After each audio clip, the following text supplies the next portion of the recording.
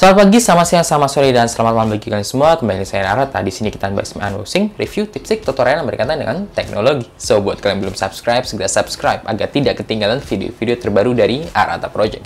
Nah, kali ini saya telah uh, membeli salah satu smartphone yang bisa dibilang ya lumayan hype, walaupun nggak banget-banget, tapi ya oke, okay. ini keren banget. Ini adalah Infinix uh, Note 11 NFC. Jadi itu ada varian lain, ada yang Pro, ada yang juga yang S, tapi memang menurut saya pribadi itu yang paling menarik adalah yang NFC ini.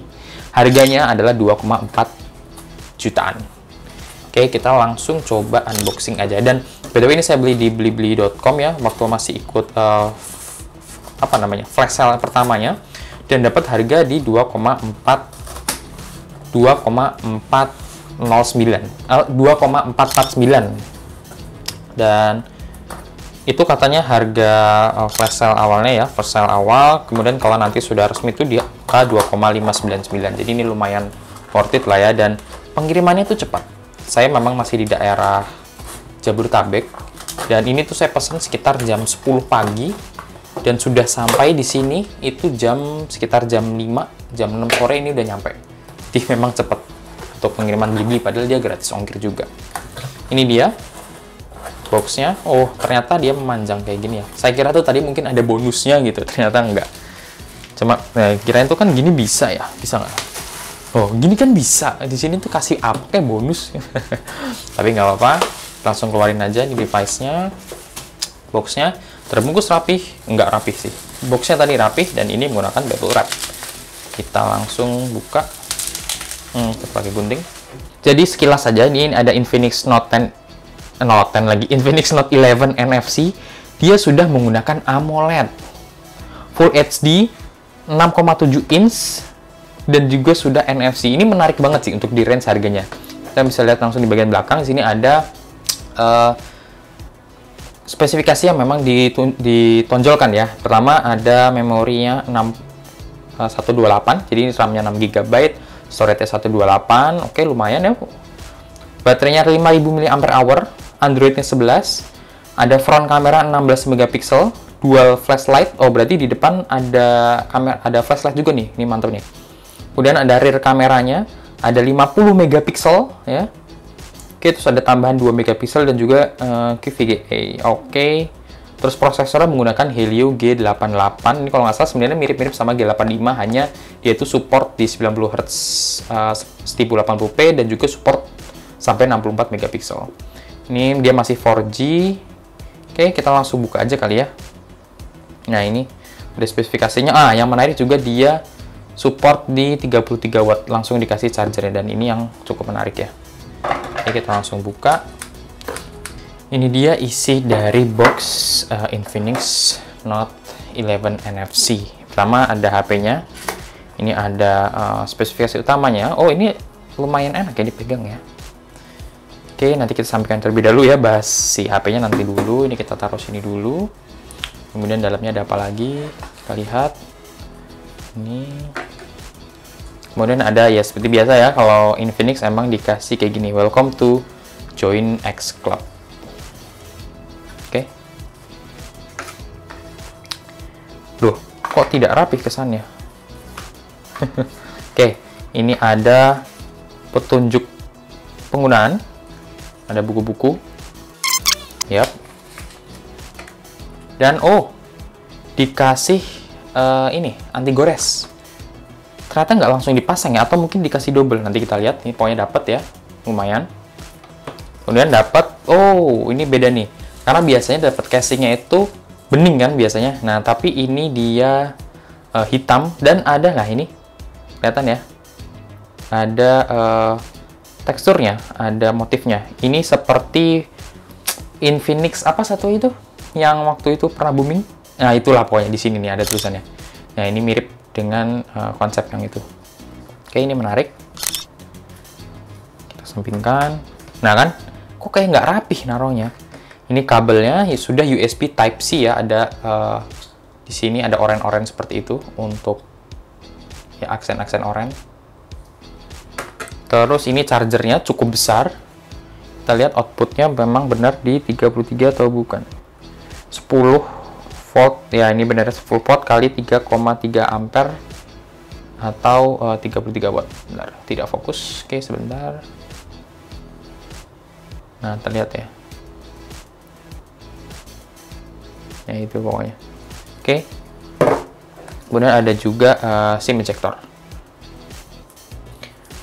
Oke, jadi ini dia HP-nya. Kita langsung coba kretek aja. Oke, mana ini dia? Hmm.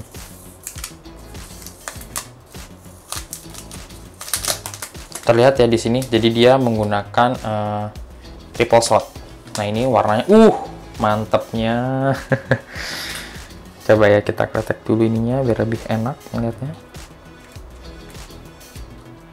Oke, okay, jadi ini dia adalah Infinix Note 11 NFC. Ini adalah warna glacier green, ada juga warna yang uh, snow atau yang uh, silver ya, keputih-putihan, ada juga warna black. Ini sedikit kotor gara-gara tadi stikernya. Oke, okay. dan yang saya rasakan adalah ini tuh enteng. Kalau nggak salah beratnya di 180-an gram dengan layar uh, tadi ya 6,7 inch dan terbilang sebenarnya ya memang cukup lebar tapi masih masih enak buat digenggam. Ini yang paling kerasa adalah memang untuk bagian CPCC-nya dia itu uh, datar ya. Dia mengkotak walaupun tidak sekotak uh, iPhone 12 ataupun 13 dan juga tidak sekotak uh, Oppo Reno Reno 6 ya nggak yang kotak tapi dia tetap terasa uh, square-nya tuh kerasa ya terlihat ya tuh. Memang kalau digenggam nggak begitu uh, ergonomis tapi keren. Kita sambil nyalain sambil kita coba lihat ya. Jadi di bagian bawah ini dia ada speaker, ada mikrofon, ada headphone uh, jack dan juga dia sudah menggunakan USB Type C. Ini keren ya. Infinix kalau nggak salah yang paling lambat deh. Soalnya dulu tuh dia paling lambat menerapkan NFC eh NFC apa USB Type C. Dari dulu tuh micro USB terus akhirnya sekarang sudah mulai uh, menggunakan USB Type C. Ini kenapa dia tidak nyala-nyala? Oh, salah yang ini. Jadi yang ini adalah tombol volumenya, yang ini adalah tombol powernya. Powernya ini yang saya rasakan tadi, kenapa sampai salah uh, pencet adalah dia ini datar banget lihat ya, tidak terlihat di sini. Jadi saya pun tadi ngerasa tidak ada yang dipencet, jadi mencetnya yang ini, padahal harusnya yang ini. Ini memang uh, dia gabung juga dengan fingerprint sensornya. Ini di bagian atas dia kosong aja. Nah ini ada SIM card uh, slotnya ya, tadi sudah dilihat dari plastiknya dia itu tipenya uh, triple slim, triple slot. Oke, ini bagian belakang ini ada kameranya 50 megapiksel. Oke. Kalau yang dia pakai G85 dia belum bisa menggunakan resolusi di 50 megapiksel, makanya mungkin di upgrade ke G88 seperti itu. Oke, ini sudah masuk, saya setting-setting terlebih dahulu. Oke, jadi tadi saya sudah setting-setting dan juga coba beberapa menit Kira-kira gimana sih untuk impresi saya mengenai si Infinix Note 11 NFC ini? Yang pertama kita lihat dari uh, Antutu benchmark ya, tadi saya sudah coba install dan juga coba jalankan. Jadi untuk skor dari Infinix Note 11 NFC ini, dia dapat skor di 250 ribuan. Dan ini skor yang cukup bagus untuk di range harganya, di harga 2,4 juta. Kemudian uh, untuk mid range ya, ini ini udah oke okay banget. Kemudian uh, yang saya rasakan adalah dari sisi tombol powernya ya, karena Nah ini dia cukup menurut saya ini cukup uh, ke bawah banget ya, terlalu ke bawah dan dia itu datar. Nah bisa dilihat ya dia tuh. Jadi seperti tadi di awal kalau memang uh, perhatiin itu waktu nyalain HP-nya jadi salah pencet malah yang pencet yang ini.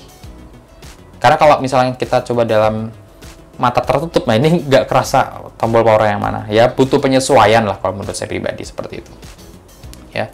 Kemudian kita langsung coba lihat ke setting. Karena dia ini sudah menggunakan AMOLED, maka dari itu kalau kita ke display and brightness, dia sudah ada pilihan untuk always on display. Di mana untuk always on display-nya ini uh, cukup banyak untuk kustomisasi-kustomisasi yang bisa kita gunakan seperti itu. Nah ya. Kemudian kita langsung lihat lagi ke bagian about phone-nya. About phone, nah ini my phone, dia sudah menggunakan XOS uh, eh, versi 10 dan juga Android versi 11. Untuk storage-nya dia uh, RAM-nya 6 GB dan untuk penyimpanan di 128 GB. Kita coba lihat baru pertama kali kita um, nyalakan dan hanya install Antutu Benchmark. Kira-kira kiranya sekitar berapa sih untuk free-nya? Oke, jadi terlihat bahwa sudah digunakan 20 uh, GB seperti itu. Lanjut kita langsung ke bagian kamera. Kamera ini dia 50 megapiksel ada AI kamera. Nah, ini kalau mau ke 50 megapiksel maka bisa dipencet terlebih dahulu yang bagian atas di sini nih, kita pencet. Nah, baru langsung masuk ke bagian 50 megapiksel. Kita lihat untuk pengaturan bagian videonya, dia bisa merekam sampai resolusi di 2K, dia bisa di 2K. Mantap ya. Kemudian kita coba juga ini ada Ultra steady-nya. Kemudian kita coba ke kamera depan. Oke. Okay? Di mana untuk kamera depan ini dia ada flashnya juga. Nah, ini yang menarik ya. Memang kebanyakan untuk uh, beberapa HP uh, Infinix itu menyediakan kamera depannya ada flashnya. Jadi buat teman-teman yang mau selfie di gelap, nah ini bisa menarik banget. Oke, untuk hasil uh, foto dan video, uh, videonya mungkin nanti ya, mungkin di video review ini foto aja hasilnya seperti ini.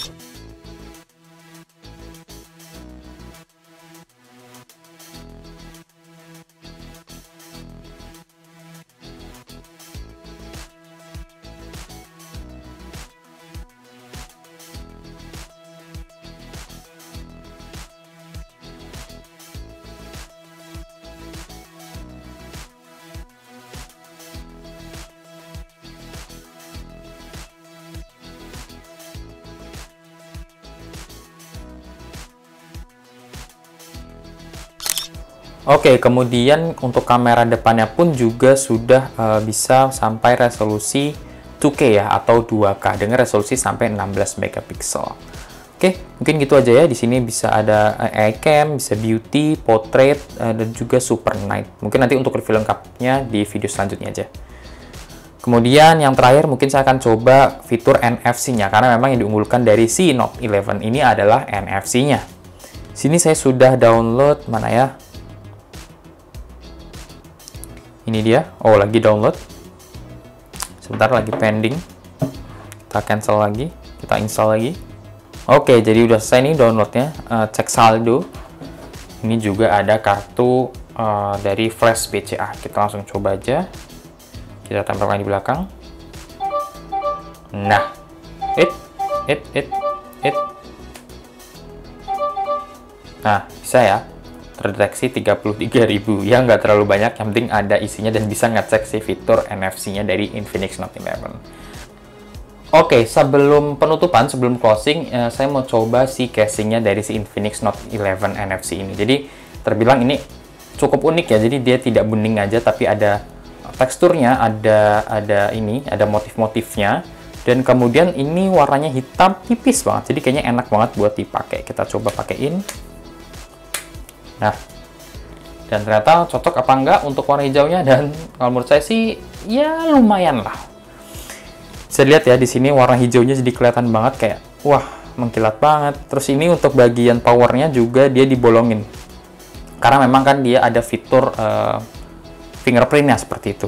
Ini untuk bagian depan dan saat saya genggam ini nggak kerasa kayak pakai casing. Maksudnya casing ini tipis, jadi enak banget disandingkan dengan si Infinix Note 11 NFC. Oke, mungkin gitu aja untuk unboxing singkat dan kesan pertama dari si Infinix Note 11 NFC. Kalau misalnya teman-teman di sini punya saran atau mungkin punya request mau diapain waktu review atau apa yang ingin digali, silahkan tulisin aja di kolom komentar di bawah. Saya Arata, sekian dan terima kasih.